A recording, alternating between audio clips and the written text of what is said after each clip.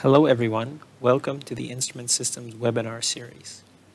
In this presentation we cover the latest in characterization of VCSEL devices for 3D sensing applications in terms of eye safety according to the IEC 60825-1 standard. We will be speaking on operating VCSEL-based devices in public, assuring safe operation compliant to the standard, the classification of laser classes, and a practical assessment of VCSELs via a flowchart.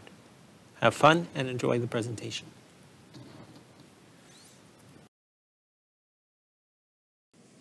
VCSELs have gained quite some attraction in 3D sensing applications, such as, for example, in consumer electronics. You all may know the Face ID technology employed in the iPhone. They have become quite popular as LiDAR systems in autonomous driving and also in novel human-machine interfaces, such as, for example, in AR/VR. VCSELs are so-called vertical cavity surface emitting lasers, which is basically a laser diode with a certain emission characteristics. And as any kind of laser, they may potentially cause harm to the human eye and also to the skin. And that is why they require eye safety evaluation for safe use in public. Now, why is eye safety so important? The human eye is an optical system that is greatly optimized to sharply image visible light onto the retina. And in terms of laser light, which is coherent and strongly directed, that this has great potential to destroy the retina because you cause high intensities um, on the retina and also in the eyeball. So laser safety is all about the question of how much energy is either absorbed in the eyeball or image onto the retina. And this is exactly what the IEC standard is all about. So it gives both the users and the manufacturers all guidelines, regulations, and instructions to allow for safe laser use. And it says, for example, I cite here, it is the responsibility of the manufacturer to ensure that the accessible radiation, that is the part of the laser light that may be absorbed by the eye, that may enter the human eye, does not exceed the AEL, that is the accessible emission limit of the assigned class. We will come back to laser classes on the next slide. It also says that your measurement equipment, if you are a manufacturer that wants to evaluate uh, your laser system, your measurement equipment should be calibrated and traceable to national standards and that is to ensure the accuracy needed for safe evaluation. I recommend uh, here as further reading the corresponding tech report, measurements for classification of laser products, and also the IEC 610040 standard, which is power and energy measuring detectors, instruments, and equipment for laser radiation. I just mentioned laser classes. So what's a laser class, basically? Laser classes indicate the potential harmfulness of your system. A laser class 1 is always safe it may be used by non-trained personnel, by kids, in public domains. You won't harm anyone with a laser class 1. On the other hand, a laser class 4 is super dangerous not only to the human eye but also to the skin. It may cause burns and the damages are not only due to direct beam viewing but they may even be to indirect due to indirect reflections uh, or diffuse scattering uh, and so on and so forth. So the bottom line here is if you want to use a laser in public, it better be laser class 1. There's a little speciality for visible lasers. They also may be laser class 2. That's a special class for visible lasers and that takes into account the fact that you will see the laser beam as soon as it enters the eye. You will just realize that there's a flash and you will react on that with the blinking reflex. So you will close your eyes at some point. Since we are talking about 3D sensing applications that mostly operate in the NIR region, our lasers must be laser class 1. Now before I will explain you of how to evaluate laser class or determine a laser class of a certain system, we need to talk about the special characteristics of VCSELs and their beam geometry.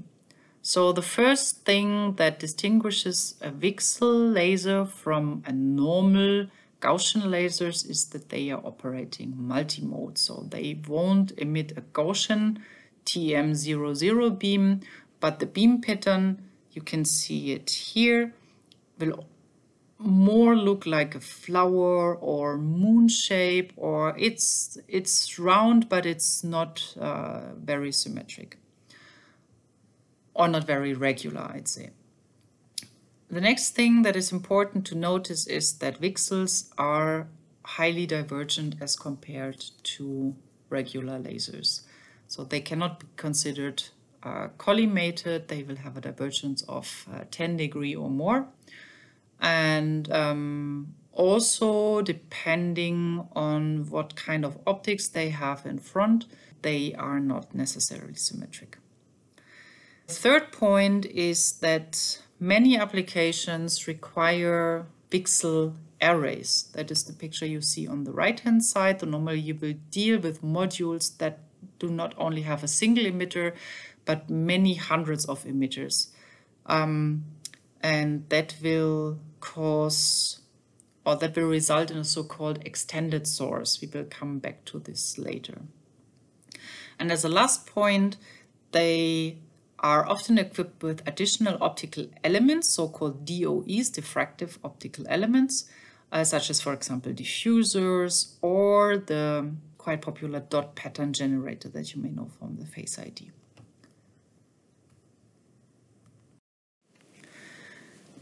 Now here comes laser class assignment. This is the flow chart you need to follow when you want to characterize your VCSEL in terms of eye safety. Looks complicated, but we will go through it step by step. The first thing you need to determine is whether your laser is pulsed or in continuous wave, so-called CW mode. And when I talk about pulsed lasers, I also mean lasers that are scanning. So they may be CW, but if you have a mirror, a rotating mirror or some MEMS mirror, um, that steers the laser, it will be considered pulsed. We are talking about pulsed lasers, so I will ignore the CW classification here. Okay, for a pulsed laser, you need to determine a couple of parameters. First thing you need is the laser wavelength. Uh, you also need the pulse energy and you need the average power, you need the pulse width, and you need the pulse repetition frequency as you can see on the downside here. Um, these are the parameters that you need to measure. Mm, maybe one thing about the spectrum of a VCSEL as compared to normal lasers, they do not look very smooth. You see some side modes, always, there's always side modes in uh, uh, VCSEL evaluation. So for laser safety assessment, the lambda parameter should be the centroid wavelength and not the peak wavelength. One thing I need to mention when talking about pulse energy or average power is that due to the high divergence of VCSELs, uh, not all the light may enter the human eye. It's most probably only a small part that, that says that you need to assume a 7 millimeter aperture that mimics the pupil of the human eye in a 10 centimeter distance.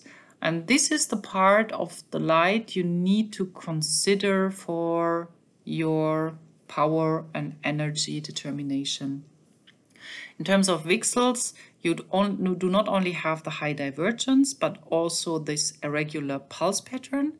And uh, you can see here, I draw, I've drawn a red circle that it's not completely um, unimportant where the eye looks at. So here the most danger, dangerous region, the hotspot is on the right hand side.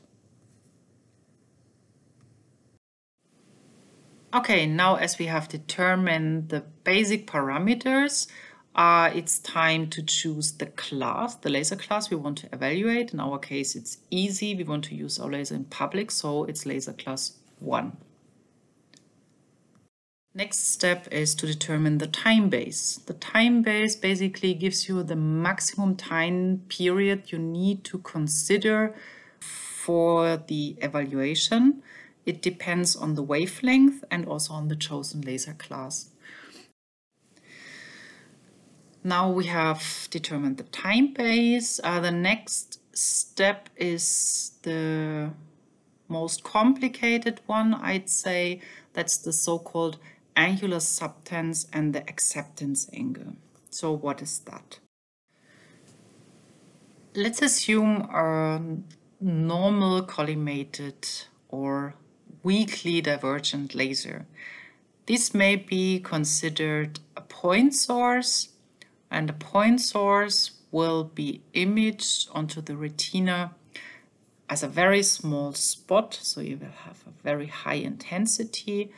Mm, and that's why a point source can always be considered a worst case situation. However, I mentioned this before, VCSELs often do not come as single emitters but as uh, emitter arrays and hence they can be considered an extended source. An extended source is a bit advantageous in terms of eye safety as compared to a point source as it spreads the same amount of power onto a larger image on the retina, as you can see here in the schematic drawing. So depending on the extension of the source in x, y direction, or it may also be a round source, um, and the distance between the observer and the laser source, um, the size of the image on the retina may vary. And of course, this is something that you may want to consider when your point source evaluation does not give you satisfying results. So you may come to the conclusion that assuming a point source is uh, does give you too high um, power and too restrictive AELs, you may want to consider the extended source situation. If you want to do that, you do not only have to consider the size of the apparent image, the so-called angular subtensor. Um, you also need to consider the accommodation of the human eye and the so-called acceptance angle. And the acceptance angle comes from the fact that you never know where the observer is looking and focusing at. So if you want to do the extended evaluation, uh, considering an extended source, you need to do not only uh, vary the distance between observer and source, but also the accommodation, this uh, uh, acceptance angle, um, within a certain range. This may become very complicated and you may want to use ray tracing to do that, but it may gain you a certain amount of power more as compared to a point source that you may send out of your laser system within the same laser class. Okay, now we have determined the angular subtensor and also the acceptance angle, or we have assumed point source. And now we have all the parameters together that allow us to calculate the AE values, that is the accessible emission value, and that we need to compare to the so-called AELs. That's the accessible emission limits. Look at how this might work. So this is a table that I have copied out of the standard. And you can see that on the left hand side you need to choose the wavelength. We have determined, let's say, a wavelength of uh, 940 nanometers. And then we have pulse length of uh, nanoseconds. We have burst rates of milliseconds and we have a maximum time base of 100 seconds. So the corresponding AEL is not a single value. It will be depending on whether you are pulsed or not pulsed and what uh, other parameters you have determined. It will be a whole list of AELs and you always have to choose the worst case. And then you will have your AEL. So what you need to check if, if all the accessible emission values are less than the corresponding AELs. If you find one single pair where the AE is higher than the AELs, you may restart from the scratch, choosing a higher class. This is not an option for us because we want to use our laser in public. So we need to rethink whether we can gain some margin here.